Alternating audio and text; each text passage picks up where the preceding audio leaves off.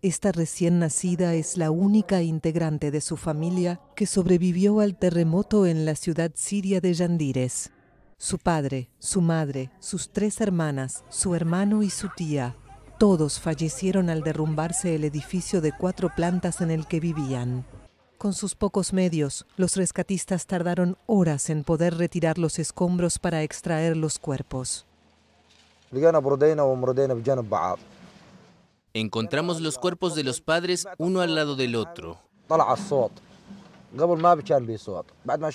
Oímos un sonido mientras excavábamos. Antes no oíamos ningún sonido, pero cuando cavamos más lo oímos. Cavamos y limpiamos y encontramos a la bebé todavía atada por el cordón umbilical. Así que se lo cortamos y se la dimos a mi primo y él la llevó a un hospital de Afrin. Los médicos que la atendieron estiman que nació probablemente siete horas después del sismo, con un peso de más de tres kilos.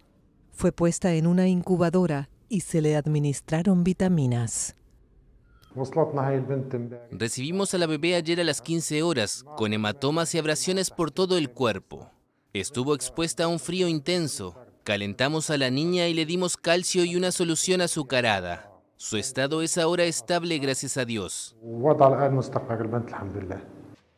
La familia había huido de la región inestable de Deir ez-Zor, más al este, creyendo que estarían seguros en Yandires, una localidad controlada por las fuerzas turcas y los grupos rebeldes proturcos desde 2018.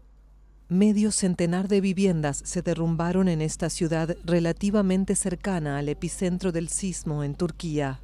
El terremoto ha causado más de 5.000 muertos en Turquía y Siria, según los últimos balances, que no dejan de aumentar.